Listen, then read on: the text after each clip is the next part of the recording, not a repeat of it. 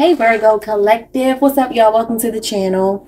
Let me drink some water y'all. My throat is a little parched and it's irritated. Hmm. I'm sorry y'all. Welcome to the channel. Welcome back if you've been here before. Thank you so much for joining me or joining me again. I hope y'all are doing amazing. We are off to a late start. Forgive me for that, but we're going to take a look at the week, your messages for the week, okay? Take what resonates, leave what doesn't. Flip the roles if you need to. Could be past, present, or future energy or someone else around you. I'm picking up on. We're going to do some shadow messages, y'all. Okay? So let's see. Let's see. Let's see. What is this? What the fuck? I don't even know what that says. Okay. Let's see. Let's get a shadow message for Virgo, please, Spirit. Just one. Thank you. We have treacherous Hmm, treacherous shadow. Somebody is a snake. Huh. Keeping, I'm sorry, keeps big secrets and likely to betray trust, untrustworthy, no loyalty, and dishonesty. Y'all know what I heard? This is so crazy. Before I started your reading, I, I meant to say this. I was hearing um, that song by Erykah Badu, Clever, right? I'm clever when I bust a rhyme. Clever, always on your mind. Now that's funny because this snake energy is giving me Aquarius. Somebody could be on Aquarius Pisces cusp because Erykah is a Pisces, but that song gives me the um, the seven of swords. Very clever, right? And that's the snake. It's a sneaky energy. it's a fake friend. It's somebody that is a thief. It's somebody spying on you. It says, be aware that what's done in the dark will come to the light. Is this risk worth taking? So there's somebody that's not loyal, not trustworthy. They're a snake, and it could be an Aquarius, or it could be a Pisces. That is your sister sign. So let's see. Why did I pull that? I mean, why did I hear that song? I haven't heard that song since the 90s. Clever, when I bust a rhyme. Somebody could be a rapper or really got the gift of gab, really convincing the way they talk. Because, you know, they call rap I mean, you know, hip hop is rap music, and y'all know rap used to be a slang for talking, having the gift of gab, being a smooth talker. Let me rap to you a taste. That's what the people just say. I just saw 222. We have butterfly rebirth. You can reinvent yourself. Open to the rewards of change, and you have brilliance to share with the world. Love every part of your journey. So you're going through a period of transition, transformation, shedding old skin. Now, I feel like, I mean, this could be you with this treacherous energy that you're shedding because you know snakes do shed their skin. So it could be that, or some of you, you're just evolving, you're ending something. This is a death and rebirth card, okay? That's the death card, Scorpio energy. You could be dealing with a Scorpio or an Aquarius or have those placements in your chart. Let's see. Clever, a bus of mine. She's clever. She said, and I really want to grow, but how come? We're the last to know. Now grow. Rebirth. I don't know. I don't know why I heard that song, but I heard it so clearly. We have mommy issues. Somebody has mommy issues, abusive, neglectful, emotionally unstable mother, abandonment wounds, or childhood trauma. So that's what's wrong with this person. And it could be you. It doesn't have to be someone else. Okay.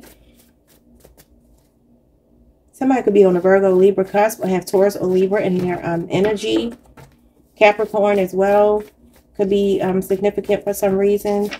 We have revolving door in and out of your life, inconsistent, coming and going, multiple lovers in rotation. Some of you, this is a player, and this is why they are this way because of the fact that they have mommy issues. Could be a Sagittarius. Hmm. But there's somebody here who's a cheater. They're a player. We have hiding behind their money. Okay, so they could have money, materialistic, robbery, extortion, and blackmail. This person might be used to getting women because they have money. This person keeps a burner phone, incognito, prank call, decoy, or second line. So yeah, this person's definitely very sneaky. Whoever they are, they're a cheater. I don't know why so much about relationships be coming out. I don't do these readings to be about relationships, but that's what keeps happening. Show me this person with mommy issues. What's going on with them? Ace of Swords. You're starting to see this. You're starting to recognize this about this person. Ace of Swords, Libra, Aquarius, Gemini energy. This is an aha moment. An epiphany is going off You're breaking free. Look how she's breaking free from that chain, right? This is a breakthrough. This is truth. We have the Four of Wands. Some of you are married to this person or you live with them. Could be an Aries. Okay, let's see. Or are they married to someone else? Did you find out they were married to someone else? Because this is a cheater. Yeah, you, you might have found out they were married to someone else. Or if you're married to them, you found out they were dating other people. This could also talk about the community that they were brought up in. Their household, their family. What mommy issues here. Show me more.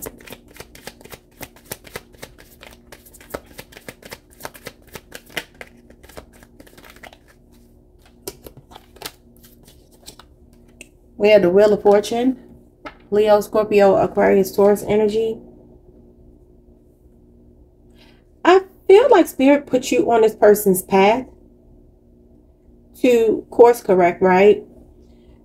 what they're supposed to be doing is realizing that what they've been through has not, you know, what what doesn't kill you makes you stronger.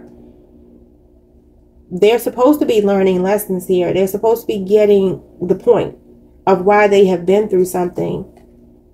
This wheel of fortune is spirit stepping in here and this person needing to go with the flow, learn their lessons and keep it moving, right? Accept what is. But this person is struggling. I feel like it has something to do with their childhood, with this Four of Wands being here. It's their family dynamic.